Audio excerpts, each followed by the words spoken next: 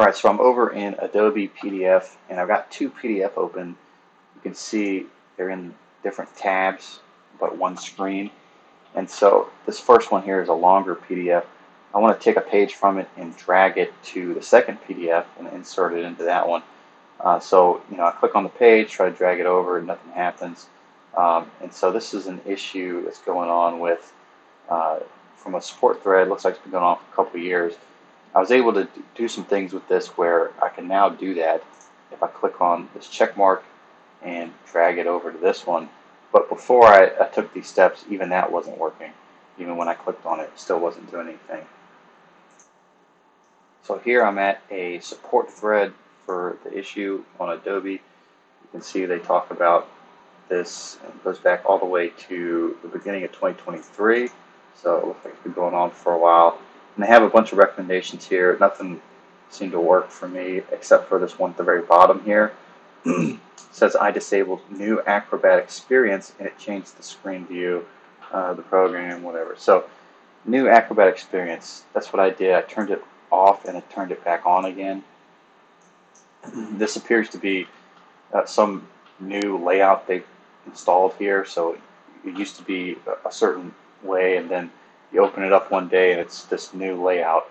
So to revert it back to this old uh, layout, come up to menu, come down to disable new Acrobat. It'll say, you know, you have to restart everything. If you want to save this stuff, it'll say yes.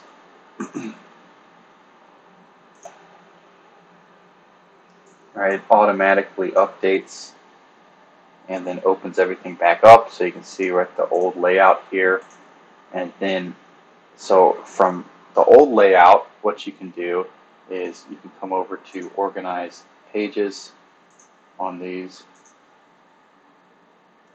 Now with this you're not able to search for a specific page so you'll have to close out of this do a, a control F over here and find whatever page you're looking for and then once you find it you can come over here and just simply drag it into this what I ended up doing though was after getting it to the old layout, you can come back to one of these things here and revert back to the new layout.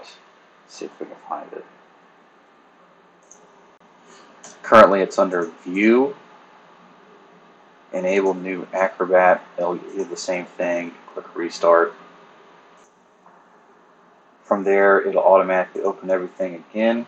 So at this point, I can come over to where the pages are at, and if I want to drag something, I'll just click on this checkbox, drag it over here, and then drop it right in there. Another thing I want to point out, if you want to avoid this tab layout and just want to have two separate windows for each PDF, you can come up to Menu, and you can click on uh, Window, New Window, that'll open it into a completely separate PDF so you can now have you know, two different windows for each PDF.